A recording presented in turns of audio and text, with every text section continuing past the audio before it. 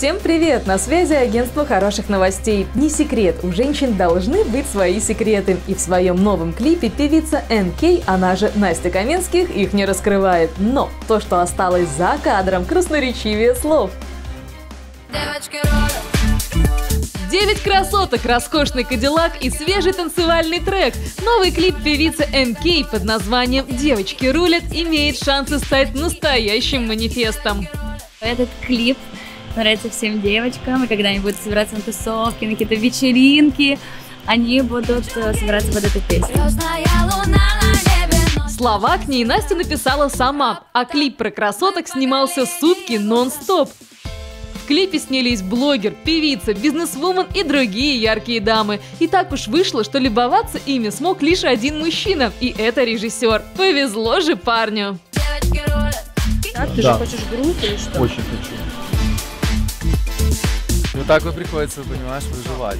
А что поделаешь? Девочки ру, девочки рулят.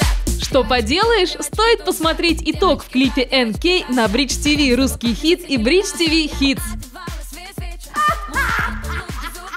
Стоп! Хорошо.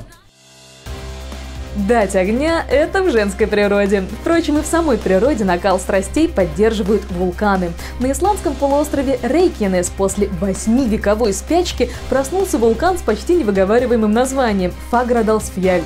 Ученые уже отправились туда, чтобы пожарить сосиски. А один блогер не пожалел свой летающий дрон за 2000 фунтов, чтобы заснять неистовое извержение длиной в километр. Но еще более впечатляющими стали полеты героини нашего следующего сюжета. Вместо тысячи слов сразу к нему. Помните, во времена карантина многие были готовы отдать любые деньги, лишь бы слетать куда-то. А вот пенсионерка Мерлин Хартман 19 лет летала по США и по миру и не платила за это ни цента. Просто она проникала на борт самолета, сливаясь с толпой, а во время перелета притворялась спящей пожилой дамой, усыпляя бдительность стюардесс. Мне, конечно же, не стоило этого делать.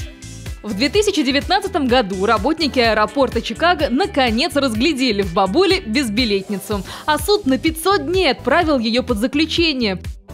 После выхода на свободу Хартман подарили электронный браслет для слежки за ее перемещениями. И недавно ее вновь застукали при попытке пробраться на рейс. В общем, за этой пассажиркой нужен глаз да глаз.